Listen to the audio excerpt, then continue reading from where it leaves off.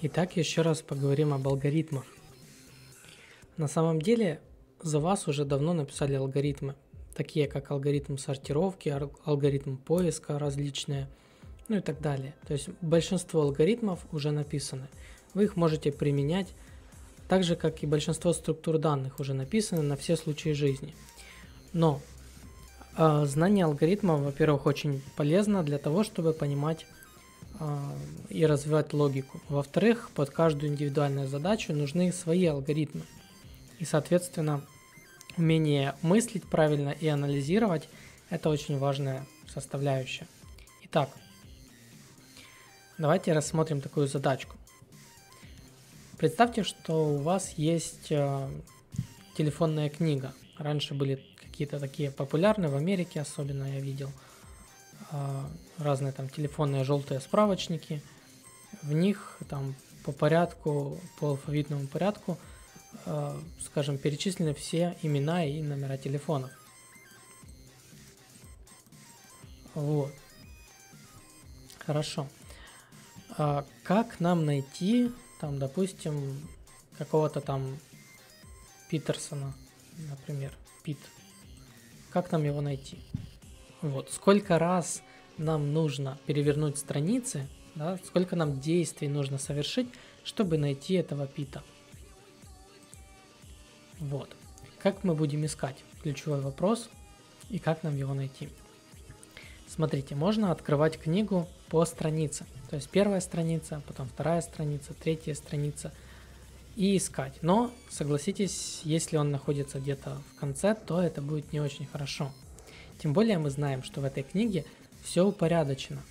То есть первое правило, перед тем, как что-то искать, постарайтесь упорядочить информацию.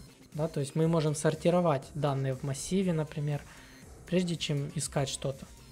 Если это уместно, конечно. Хорошо. Здесь уже данные отсортированы в алфавитном порядке. То есть, что мы можем сделать? Самый быстрый алгоритм для поиска является бинарный поиск. То есть мы, грубо говоря, все время ищем середину. Вот, допустим, у нас тысяча страниц. Вот, мы берем и делим все напополам. То есть это первое действие. Одно, мы сделали одно действие и уже сократили всю книгу на 500, да? У нас осталось 500 страниц, и либо у нас пит слева, книги, то есть, грубо говоря, до 500 страниц до, либо 500 страниц после. Мы можем просто посмотреть, на какой букве мы открыли. Допустим, там буква, там, я не знаю, B, ну, допустим. Мы знаем, что P идет дальше. Соответственно, мы отбрасываем вот эти 500 страниц. Нам они уже не нужны. Мы уже сократили целых 500 страниц за один ход. Ну, за два мы проверили. Хорошо, следующий ход разделяем еще напополам. 250 страниц осталось. И мы смотрим, либо эта буква П слева, либо справа. Допустим, она опять справа. Опять мы 250 страниц сократили. У нас осталось всего лишь 250, делим напополам, 125 страниц. И, допустим, мы э, нашли, что это слева, то есть мы сократили вторую часть. Дальше поделили то, что осталось, там, сколько, 63 страницы, допустим, да, 62 там страницы. А вот, опять там что-то убрали, опять поделили, опять убрали. И фактически таким образом мы там за 12 шагов, грубо говоря, где-то так э, нашли пита. Нам может повести, что пит окажется где-то ближе к середине. Мы сделаем это за 3 шага, допустим. То есть в любом случае, если даже количество страниц будет огромнейшее, мы сделаем это, ну, не знаю, за шагов там 50, например. Ну, не знаю, то есть не за миллион шагов, да, то есть не миллион операций компьютер будет делать, а там 50 шагов. Это значительно сокращает время работы. Отлично. Теперь давайте этот же алгоритм рассмотрим вот на языке программирования. Итак, чтобы мы не пугались, давайте еще будем рисовать.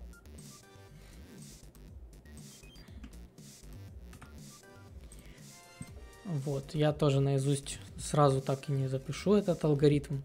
Давайте рассуждать, а, что вообще здесь происходит. Так, у нас есть обычный какой-то метод, binary search в данном случае, мы назвали. Он на вход что должен принять? Должен какой-то массив, потому что, ну, допустим, массив страницы, там, не знаю, неважно, что он принимает на вход, какой-то объем данных принимает на вход. Логично. Дальше. Искомое значение. То есть мы должны передать, какое значение мы хотим найти. И дальше передать э, расположение слева и справа. Грубо говоря, если мы э, нарисуем массив, вот у нас массив, а, ячейки массива, вот, и мы сначала устанавливаем, допустим, ну, говорим, что вот это будет левый элемент, а это будет правый элемент. Отлично. Дальше мы говорим, что это все будет в цикле. Цикл будет э, до тех пор, пока левый не станет равным либо меньше правым. То есть пока правый не станет меньше, чем левый, либо равный ему. То есть, что это значит, пока вот эти элементы, которые находятся по краям, не встретятся. То есть вот если здесь окажется правый, то тогда нужно уже прекращать выполнять, потому что дальше некуда. Думаю, это понятно. Дальше, как же мы будем сокращать это все? То есть цикл будет длиться, пока вот они не встретятся, левый с правым. Хорошо. Дальше мы создаем какую-то переменную и начинаем делить. То есть мы, грубо говоря, сразу начинаем делить нашу книгу. Мы берем левой, складываем с правым. То есть мы, грубо говоря, что делаем? Правый у нас, допустим, 50 элемент. Вот. Э, получается, ну да. Насколько я понял, сюда приходят именно числа позиций, но я могу ошибаться. Хорошо. Допустим, правый 50, левый нулевой. И мы говорим 0 плюс 50, то есть мы, грубо говоря, сложили все наши элементы. Только что сложили все наши элементы и делим на 2. То есть мы взяли книгу на 1000 страниц и поделили на 2 у нас осталось 500, а в данном случае там, допустим, 5 на 2, ну пусть будет, почему 5? 50. 50 на 2, 25. 25, хорошо, 25. И это все мы присвоили в середину. То есть мы сказали, что мы создали середину и присвоили вот этот результат. Левая плюс правая на 2, 25. То есть мы, грубо говоря, завели переменную и сказали, что вот это у нас будет середина. Все, мы нашли середину. Дальше, что мы должны проверить? Мы должны проверить, является ли искомое значение серединой. То есть, э, ну, вот, вот это число является ли серединой. То есть в данном случае мы нашли не количество, а мы нашли само число, насколько я понял. То есть э, слева и справа, и мы нашли само число. И дальше мы смотрим array число, Хотя нет, нет, не, не число, а позицию, да, все правильно. Array по позиции такой-то, и мы смотрим какое-то там число. То есть, что мы смотрим?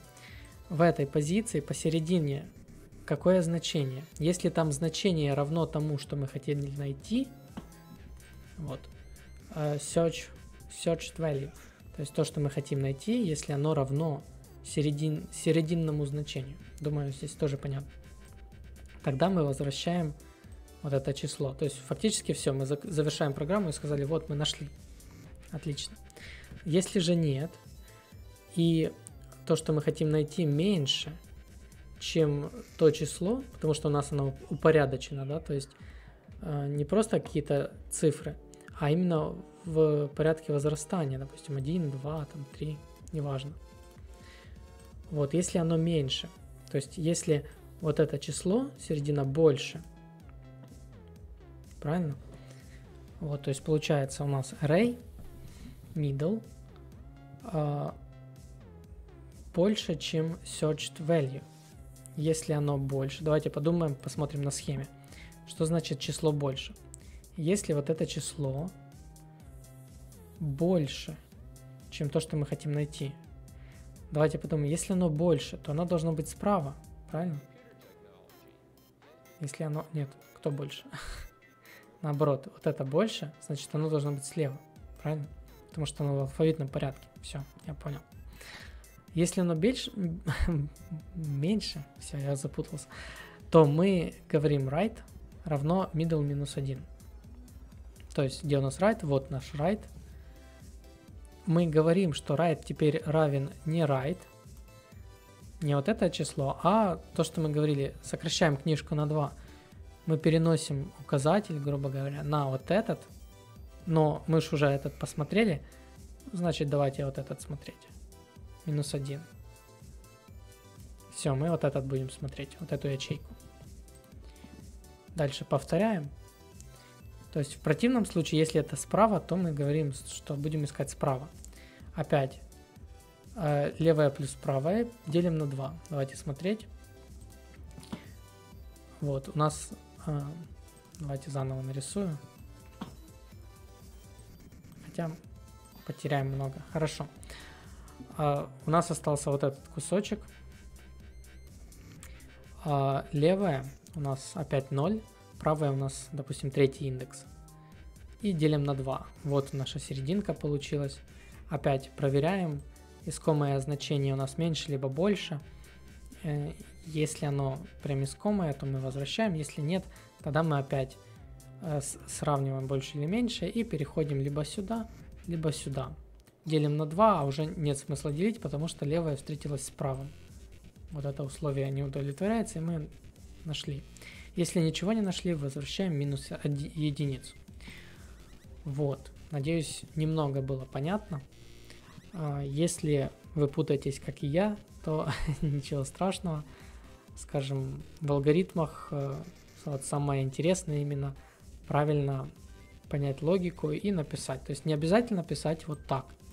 Вы можете написать по-своему, можете придумать там более другой алгоритм, даже если он будет неэффективным, вы можете найти уязвимые места, посмотреть, как лучше его сделать. То есть алгоритм это просто набор действий, э, как именно вы его видите, да. Есть лучшие алгоритмы, то есть, но никто вам не запрещает найти еще лучше, например. Либо использовать не прям супер быстрый алгоритм, а хотя бы алгоритм, который будет удовлетворять поставленной цели. Вот, то есть иногда не, не так важна скорость, как важен результат. Вот. Поэтому а, все у вас получится. Подписывайтесь, ставьте лайки и до новых встреч.